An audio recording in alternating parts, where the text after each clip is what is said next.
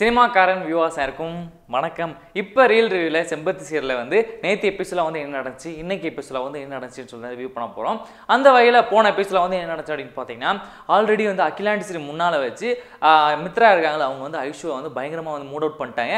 அதை மனசில் வச்சுட்டு இந்த இவ ஏன் என்ன இந்த மாதிரி பண்ணிட்டு இருக்கா? அவளை ஏதாவது ரிப்பீட் பண்ணணும்னு சொல்லிட்டு அவளுக்கு ஏதாவது பெரிய ஒரு ஆப் வைக்கணும்னு சொல்லிட்டு அந்த மாதிரி பேசிட்டு இருக்காங்க. யார்கிட்ட அருண் கிட்ட வந்து பேசிகிட்டு இருக்காங்க.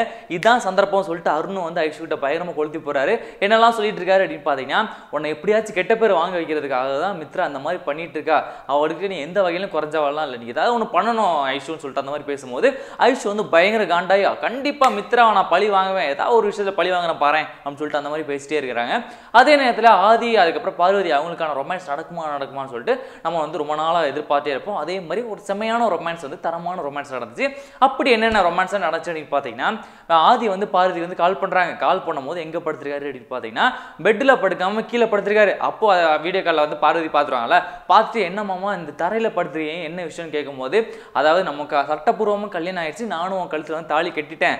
ஆனால் இப்போ வரைக்குமே நம்மளால் சேர்ந்து வாழ முடியலன்னு சொல்லிட்டு அந்த மாதிரி ஃபீல் பண்ணுறாரு அதுக்காக தான் நான் தரையில் படுத்திருக்கேன். நீயும் நானும் சேர்ந்துட்டோம் அப்படின்னா கண்டிப்பாக நம்ம ரெண்டு பேரும் சேர்ந்து பெட்டில் படுக்கலாம். அது வரைக்கும் நான் கீழே படுக்க போகிறேன் தன்னை தானே வந்து தாழ்த்திக்கிட்டு அந்த மாதிரி வருத்திக்கிட்டா மட்டும்தான் நம்ம நினச்ச ஒரு விஷயத்தை வந்து அடைய முடியும்னு சொல்லிட்டு சின்னதாக ஒரு மெசேஜ் வந்து போகிறாரு அதை கிட்டனா பார்வதி அதெல்லாம் வந்து இதெல்லாம் வேணாமாம்மா நீங்கள் வந்து மேலே போய் படுங்கன்னு சொல்லும்போது ஆதி வந்து கேட்கவே இல்லை. அதுக்கப்புறம் பார்வதி வந்து என்ன பண்ணுறாங்க அப்படின்னு பார்த்தீங்கன்னா பெட்டெல்லாம் சுருட்டிட்டு அப்படியே வீட்டுக்குள்ளே வராங்க.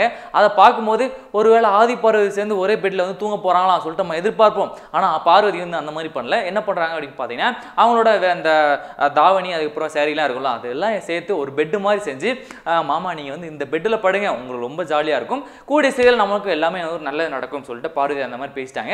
அதுக்கப்புறம் நடுவில் சின்னதாக ஒரு கிஸ் சீனு அதெல்லாம் வரும் எதிர்பார்ப்போம். ஆனால் கிஸ் வந்து என்ன பண்ணாங்க அப்படின்னு பார்த்தீங்கன்னா கணத்தில் லைட் அப்படி தட்டி கொடுத்து அப்படி கிளம்பி போயிட்டாங்க. அது போகும்போது கொஞ்சம் ஒரு சேடாக தான் அந்த மாதிரி தான் போயிட்டு இருக்கும் அதுக்கப்புறம் ஐஷு வந்து பயங்கர ஒரு கோமா இருக்காங்கல்ல அதுக்காக ஐஷு வந்து எதாவது பண்ணுவாங்களாம் சொல்லிட்டு நம்ம எதிர்பார்த்தே இருக்கும்போது ஐஷு தனியாக வந்து யோசிச்சுட்டு இருக்காங்க. அதாவது மித்ரா வந்து எப்படி பழிவாங்கலாம் மித்ரா வந்து என்ன பண்ணலாம் எப்படி அந்த அகிலாண்டிஸ் கிட்ட வந்து நம்ம நல்ல பேர் வாங்குறது மித்ராவுக்கு திட்டு வாங்கி விடுவோம் எப்படி பண்ணலாம் சொல்லிட்டு யோசிச்சே இருக்காங்க.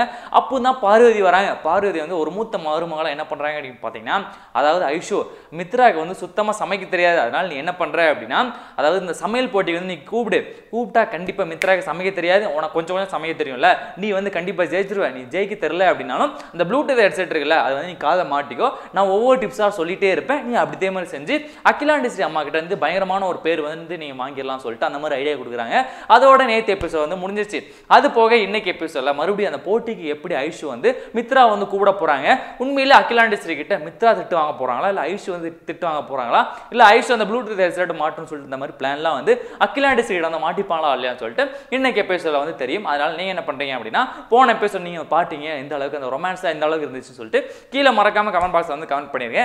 அண்ட் இந்த வீடியோ வந்து உங்களுக்கு பிடிச்சா என்ன பண்ணணும்? லைக் பண்ணிடுங்க ஷேர் பண்ணிருங்க முக்கியமாக சினிமாக்காரனா சப்ஸ்கிரைப் பண்ணாதீங்க சப்ஸ்கிரைப் பண்ணிருங்க. பெல் பட்டனை கிளிக் பண்ணிடுங்க அண்ட் நேற்று செம்பதிசியலோட ரிவ்யூ வந்து பார்க்கல அப்படின்னா டிஸ்கிரிப்ஷனில் அதுக்கான லிங்க் இருக்கு.